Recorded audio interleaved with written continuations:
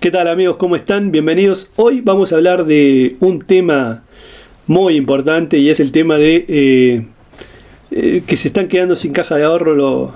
Eh, es decir, están sacando toda la plata del banco Credit Cop y esto le molesta a alguna parte del gobierno.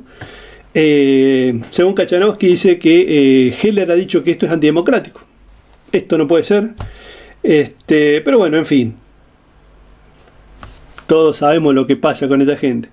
Este, vamos a ver, dice, mm, ¿y el nivel de impuesto actual es democrático? Quizás habría que hablar de los límites impositivos en una república, como para estar proponiendo mayor presión fiscal. Bueno, la verdad que la cantidad de impuestos que tiene Argentina y la ineficacia que tienen los políticos, este, no deberían cobrar ningún impuesto, definitivamente. Sí, el, el, que el pueblo decida mediante sus representantes en las instancias institucionales oficiales, lo es que quieran presionar a un representante de su vida privada para cambiar un proyecto dictado democráticamente, no lo es. En definitiva, Lautaro, no sé cuánto, este, defiende, defiende al muchacho. Lo cierto es que eh, al comunista Heller, que tiene un banco, y este, bueno, muchas veces las cosas no se condicen, pero no está mal que tenga un banco, está bien que tenga un banco. También la gente tiene la opción de ponerla la plata en el banco ese, o no ponerla, o no ponerla en ningún banco y tenerla en su casa. Puede comprar oro, puede comprar Bitcoin, algo un poco más seguro que lo que estamos acostumbrados. Bueno, sigamos viendo que me parece que más antidemocrático es eliminar el aumento de los jubilados. Esta es una discusión, es decir, muy inteligente por parte de aquellos que la llevan adelante. y, y al final termina con que estos políticos tienen ingresos del primer mundo. Cierto, los políticos tienen ingresos del primer mundo, pero viven en el, en el octavo mundo. Lamentablemente. Dice, a los jubilados nos bajan las... Acá apareció un jubilado. A los jubilados nos bajan las inexistentes jubilaciones. Eso es verdad. Imagínate.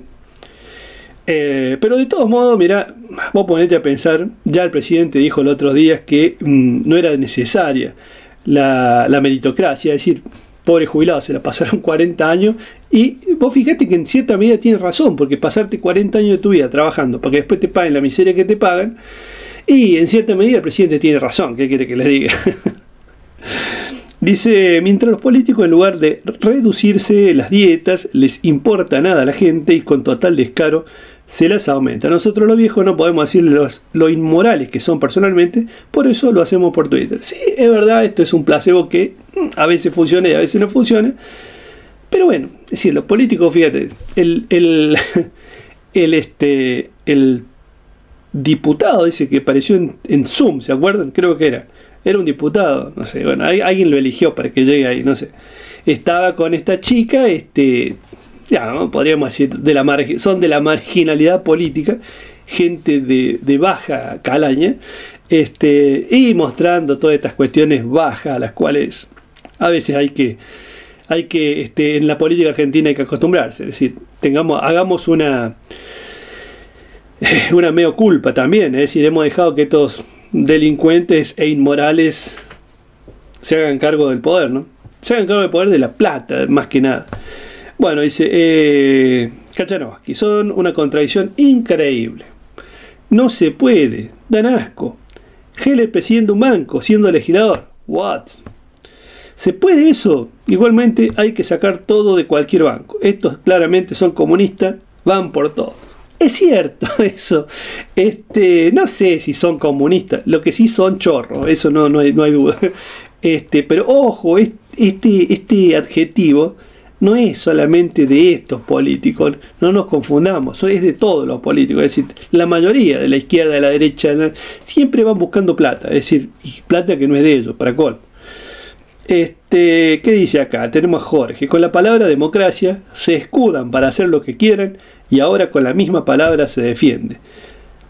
Se defienden. Se le terminó la pandemia y ahora asustan con la pérdida de la democracia que ellos mismos pisotean en contra del pueblo. Bueno, en realidad esto lo tengo hablado en otro video donde hablo de la pseudo democracia argentina. Este, todavía la llamamos democracia porque parece una democracia, ¿sí? Eh, tiene, tiene este, podríamos decir que es un lobo con piel de cordero, porque en realidad como les dije anteriormente, para que algo sea considerado algo, tiene que tener o reunir los requisitos y las características. Es decir, para que una vaca sea vaca, tiene que tener cuatro patas, cola, ¿sí? hacer mu y es una vaca. Pero en el caso de la democracia argentina, deberían eh, los partidos políticos tener primarias como lo tiene eh, Estados Unidos, por ejemplo, cosa que no existe, es decir, que ya partimos todo mal, por lo tanto esto es una pseudo democracia, muchachos. Este, mmm. Eso dice Heller. Y el equipo olímpico de, uh, de Cambiemos con Wolf, Wolf Baldo. Le dicen Scratch y se solidarizan con Heller. Bueno, a ver, ¿por qué no deberían solidarizarse los del otro partido si ellos hacen exactamente lo mismo? Muchachos, esto no es para que nos peleemos entre nosotros, es darse cuenta de cómo funcionan. Es decir, le tocaron un banco a uno y temen que le toquen a otro banco. Es decir, es un robo organizado. Es decir, ustedes vieron que algunos de los políticos en algún momento eh, dijeron, bueno, che, nos vamos a bajar los sueldos. No, amagaron. Es decir, la oposición, como los oficialistas, como los ultra zurdos, los ultraderechas, nunca hicieron nada. Son todo lo mismo. Ah, dice, este es un viejo idiota, antidemocrático.